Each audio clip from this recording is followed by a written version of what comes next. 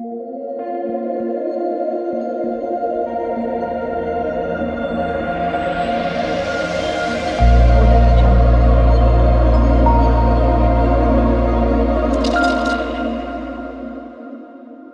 आपने अगर हमारा चैनल अभी तक सब्सक्राइब नहीं किया है तो प्लीज़ प्लीज़ सब्सक्राइब कर ले और बगल वाले घंटे को भी दबा दें। क्योंकि हम लाते रहते हैं नए नए बिज़नेस आइडियाज़ और नई नई जानकारी केवल आपके लिए।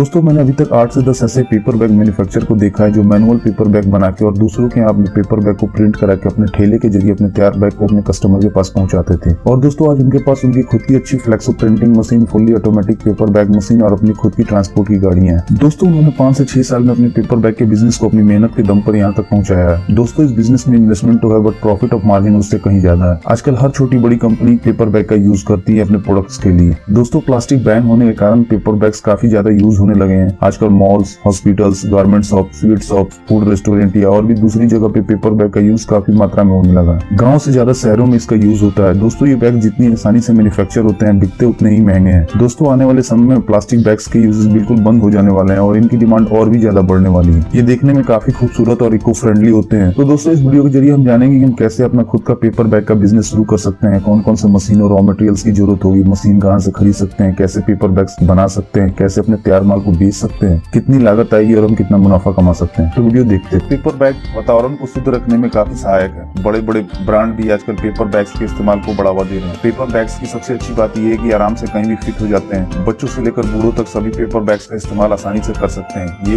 बैग्स प्लास्टिक के मुकाबले काफ़ी बेहतर है और इन बैग्स की खासियत ये है कि इन्हें आसानी से कैरी भी किया जा सकता है। पेपर का रोल लगाना होता है, जिसके ज़रिए मशीन पेपर के रोल से पेपर बैग्स बना देती है। ये मशीन सीट फैट के कंपेरिजन तेज होती है और उससे ज़्यादा प्रोडक्शन देती है। बट सीट फेट से थोड़ी महँगी भी होती है। दोस्तों इन मशीन की ट्रेनिंग आप जहाँ से मशीन खरीदेंगे, वहाँ से आपको मिल जाएगी। या फिर अगर आप उनसे बोलेंगे तो वो अपना एक इंजीनियर आपके पास भेज देंगे, जो आपके मशीन के इंस्टॉलेशन के साथ साथ आपके ऑपरेटर को इसकी ट्रेनिंग भी दे देगा। दोस्तों, इसके साथ ही साथ अगर आप प्रिंटिंग मशीन भी लगाना चाहते हैं तो आपको एक फ्लेक्स प्रिंटिंग मशीन भी खरीदनी पड़ेगी, जिसके ज़रिए आप अपने पेपर पे कस्टमर के डिज़ाइन को प्रिंट कर सकते हैं। बट बेहतर होगा दोस्तों की शुरुआत में आप प्रिंटिंग कहीं बाहर से करा ले, क्योंकि ये मशीन थोड़ी महँगी आती है और इसके लिए आपको कलर और प्रिंटिंग की अच्छी नॉलेज भी होनी चाहिए। बहुत सारे लोग ऐसा ही करते हैं। या फिर अब दो या तीन कलर की प्रिंटिंग वाली पेपर बैग मशीन भी ले सकते हैं। ये machine normal paper bag machine से थोड़ी महँगी आती है। वैसे नॉर्मल पेपर बैग मशीन एक घंटे में सात हज़ार से आठ हज़ार पेपर बैग का प्रोडक्शन बड़ी आसानी से कर देती है। पेपर बैग मेकिंग मशीन के साथ साथ आपको दो तीन छोटी छोटी मशीन की और ज़रूरत पड़ेगी। जैसे रॉक मेकिंग मशीन जिसके ज़रिए आप अपने बैग्स के हैंडल बनाएँगे। उसके अलावा आईलेट मशीन और कटिंग मशीन जो बैग में आईलेट लगाने के या फिर बैग के लिए सीट्स काटने के काम में आएगी। पेपर बैग मेकिंग मशीन के सप्लायर का लिंक मैंने डिस्क्रिप्शन में भी दे दिया। दोस्तों पेपर बैग को तैयार करने के लिए मेन जो रॉ मटेरियल होता है, वो क्राफ्ट पेपर ही होता है व्हाइट क्राफ्ट और ब्राउन क्राफ्ट आप पेपर की सीड्स या फिर पेपर के रोल खरीद सकते हैं। पेपर का प्राइस उसके जीएसएम के अनुसार बढ़ता और कम होता रहता है। पेपर बैग के लिए नॉर्मली सौ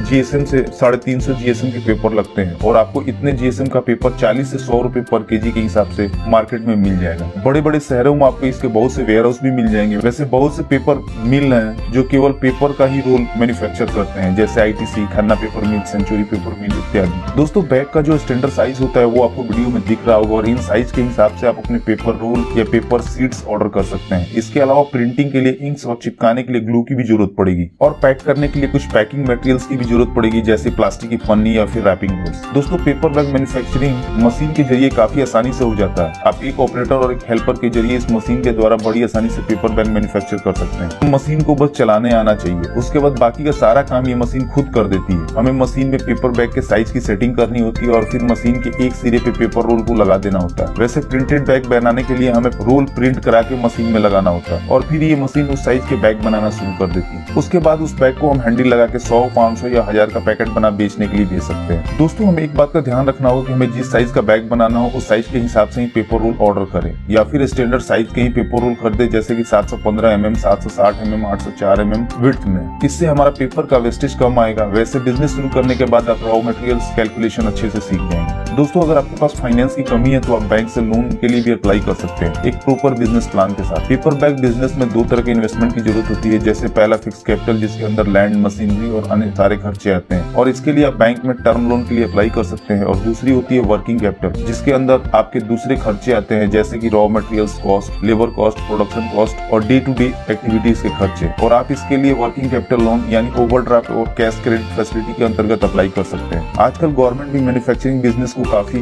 बढ़ावा दे रही है, इसलिए सरकार द्वारा चलाई जा रही योजनाओं के अंतर्गत आप लोन के लिए भी अप्लाई कर लोन पा सकते हैं। दोस्तों, आपको अपने प्रोडक्ट की मार्केटिंग करना बहुत ज़रूरी होता है। इसके लिए आप एक काम ये भी कर सकते हैं कोई एक आदमी सिर्फ़ मार्केटिंग का काम संभाले और अलग अलग जगहों पे, जैसे कि मॉल्स बेकरी शॉप चप्पल shop general store retail outlet garment shop या फिर होटल रेस्टोरेंट में घूम घूम के आप पेपर बैग की क्वालिटी का प्रचार करें। साथ